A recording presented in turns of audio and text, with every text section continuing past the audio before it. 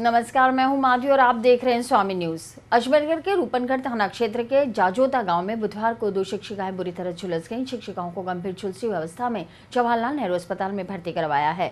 जाजोता गाँव के royal academy school की शिक्षिका विशाखा शर्मा और कुसुम कंवर को आज लगभग नब्बे प्रतिशत झुलसी हुई अवस्था में अजमेर के जवाहरलाल नेहरू अस्पताल में भर्ती करवाया गया। दोनों शिक्षिकाओं को अजमेर लेकर पहुँचे ग्रामीण खुलासा नहीं कर पा रहे हैं कि दोनों शिक्षिकाएँ किन परिस्थितियों में झुलसी। उनका कहना है कि स्कूल में शिक्षिकाओं के जलने की खबर मिलने के बाद वे इन्हें अजमेर लाए हैं। मामले की सूचना मिलते ही अस्पताल पहुँची पुलिस का कहना है कि फ़िलहाल दोनों शिक्षिकाएँ बयान देने की स्थिति में नहीं है। पुलिस पूरे मामले को संदिग्ध मानकर जाँच में जुट गई है। पुलिस को शिक्षिकाओं के परिजनों और स्कूल प्रबंधन के अजमेर पहुँचने का इंतज़ार है। उनके पहुँचने के बाद ही इस हादसे के कारणों का खुलासा हो पाएगा।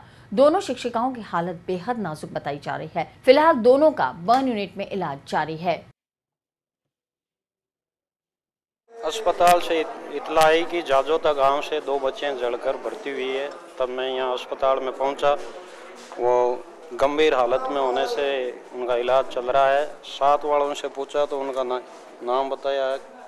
कोमल कंवर सन ऑफ़ गिरधारी सिंह राजपूत उम्र करीब 18 वर्ष निवासी जाजोता विशाखा शर्मा सन ऑफ़ गणेश लाल शर्मा उम्र करीब 18 वर्ष जाजोता जिनका अभी अस्पताल में इलाज चल रहा है। और जिन्होंने घटना वगैरह देखी वो अभी कोई साथ नहीं। बच्चों की हालत कैसी है और क्या उनके बयान हुए? बयान देने की स्थिति में नहीं बता रहे हैं डॉक्टर लोग। हालत कैसी है? हालत गंभीर है। ये आज दोपहर को हमें थाने पर सूचना मिली थी कि जाजोता गाँव में दो लड़कियाँ आग लगने से काफ़ी झुलस गई है। जिनको रूपनगढ़ हॉस्पिटल में लेके आए वहाँ से सीधे इनको जे एल अजमेर रेफर कर दिया। अभी हॉस्पिटल में आके डॉक्टर साहब से मिले जिन्होंने बताया कि ये दोनों अभी बयान देने की स्थिति में नहीं है काफ़ी जली हुई है। क्या परिजनों से कुछ पता चला किस तरह का? नहीं अभी किसी तरह की रिपोर्ट नहीं दी है परिजनों ने देखा मौके पे क्या था? गैस सिलेंडर फटा है केरोसिन है क्या चीज़ है? नहीं मौके पर अलग वो अधिकारी भेज रखा है हमने। मैं यहाँ इनके बयान लेने के लिए आया हूँ। तो दोनों अभी बयान देने की स्थिति में नहीं है।